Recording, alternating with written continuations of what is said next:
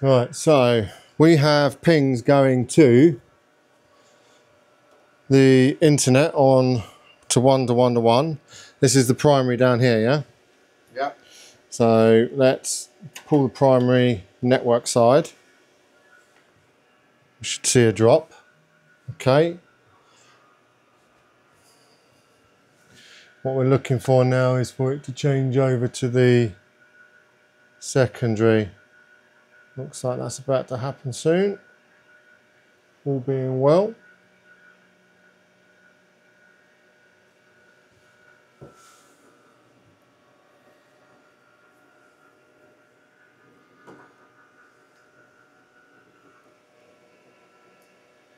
Yeah, it's come up now. Okay, so that's stabilized. Okay, so that is a successful failover. Let's stop the ping. And let's do a trace. Six hops to 1.1.1 on the secondary link and we failed over. I'm now going to send traffic again back to 1.1.1 and we will plug back in the network side of the primary. And what we should see is if we watch these lights up here closely, we'll see that the traffic dies down on that. It should preempt Yeah, I can back. No, I can see it's going. Yeah, I can see it's back now. So now, once that fully stabilizes again, Yeah, uh, pick up automatically, bro. if I do a trace now again, Nine milliseconds.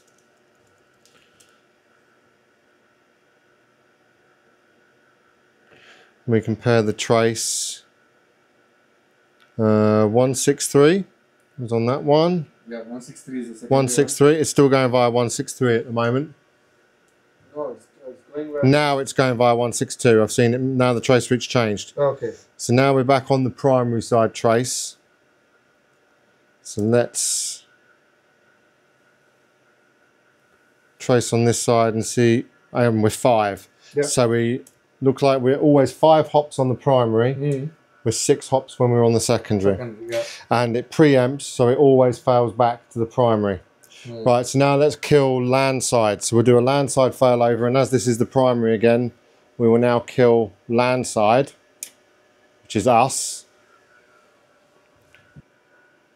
Yeah, LAN Yep. side I can see. going via 63. I can see it's going by 63. So we're going via 63 again. Yep. We've fallen over correctly. Data is flowing. Actually falls over quicker on the LAN side than it does on the customers on the network side. Right, let's plug that back in again. Yeah, sticks right away. Now let's wait for the VR. Right, what drop one packet on the ping there. So let's do a trace again. And we're back on 62. Yes. Good. So failover. Pass. So now let's do network quality. So let's do the do the first.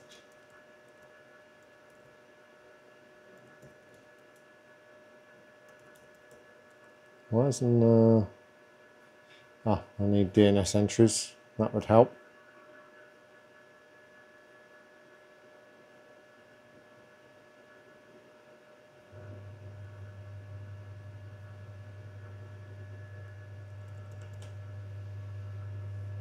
Add a DNS entry. Yep, so now we get the proper resolution on there.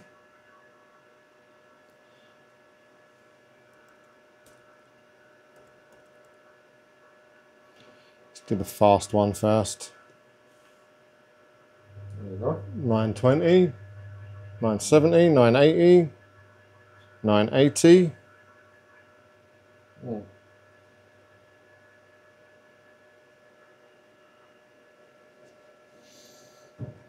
Testing from France to, to Frankfurt. 9 milliseconds unloaded, 10 milliseconds loaded. Right, let's fail over. Run the speed test again. Do a LAN side failover. We'll refresh. 200. Yeah. It's already committed to the 200 only. Yeah. So that's why they've stuck the smaller ASR in for the For 200 service. So if we see a site that has two 900 series, Mhm. we know we've got a gig. So yeah, we've got 200 down and 200 up. And again, latency is 9 and 10. Okay, let's plug back in.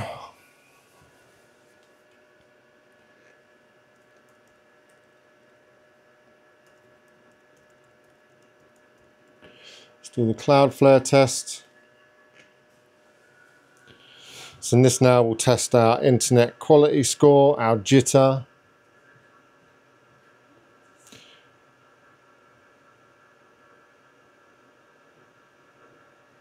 Nine twenty down.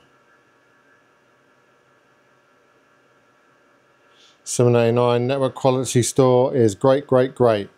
Zero packet loss. 689 like microseconds of jitter, which is absolutely tiny, and 4.5 milliseconds of latency. So on that front, this service is good. Now let's hand it over to Uday to get it plumbed into the Meraki.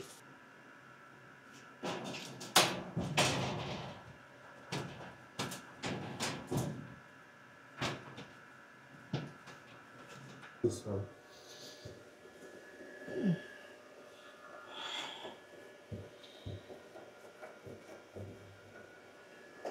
It's going up into that middle section.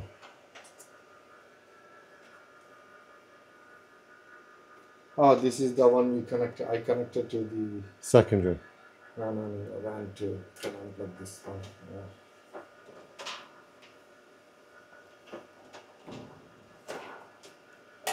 The short crossover one.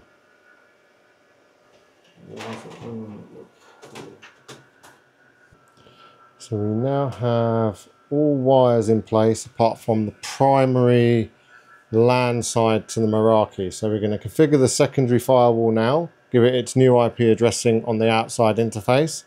We're then going to cause a downtime, change the configuration on the primary side of the interface and bring up internet connectivity via the new subnet and the new uh, internet provider, which is a 1 gig primary with a 200 meg uh, failover.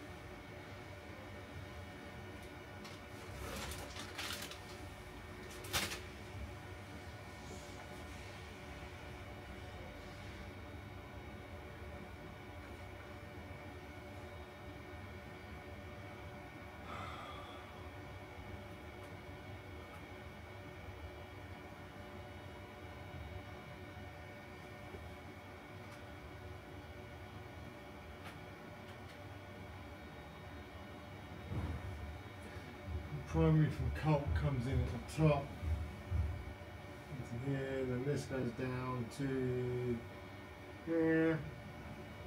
That's all correct, and that comes up and into there. So that's all good. So it's the only one we can shorten. That's good enough.